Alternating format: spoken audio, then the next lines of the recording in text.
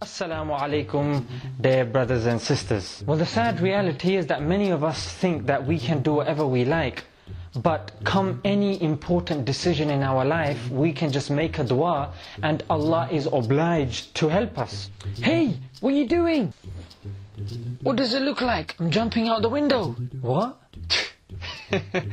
so question is that? Don't worry, man. I've read my dua. Have you been drinking shampoo again? We have this sort of master-slave relationship with Allah where we deem ourselves to be the masters and Allah to be the slave. How, I hear you ask? Well, we raise our hands and we expect Allah to fulfill our every demand straight away. It's up to Allah whether He decides to accept from us or not. Allah is the most wise. And if Allah deems that that dua is beneficial for you, then He will accept it. If not, He will reward you for it. Especially during our exam period, we don't really put in the effort that we can put in.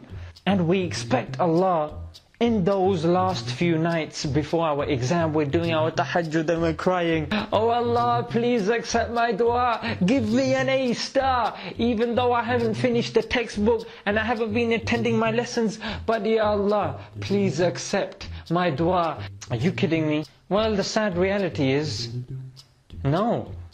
He's not kidding. And honestly, even when I was a student, I would do this as well. And many students, if you put your hand on your heart and you ask yourself, did I really do the best I could?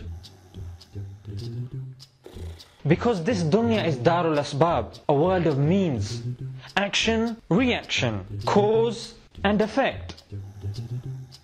And Muslims have that extra barakah of worshipping Allah subhanahu wa ta'ala. If we then couple that with our education, when it comes time to pray salah, we pray, and then afterwards we hit the books. Then there's no way that you can fail your exam. But the reality is, and the same happened to me, I knew in my hearts of hearts that I didn't do well.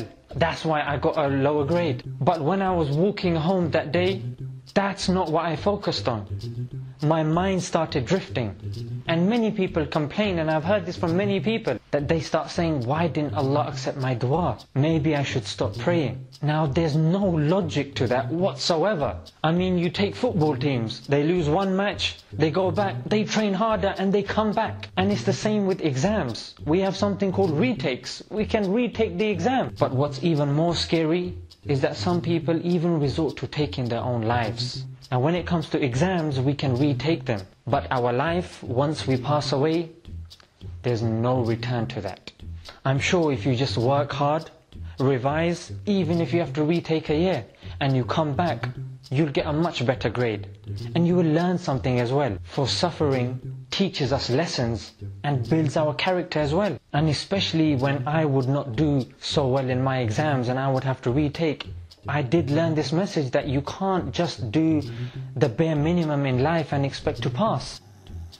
You have to give it your all and only then can you pass.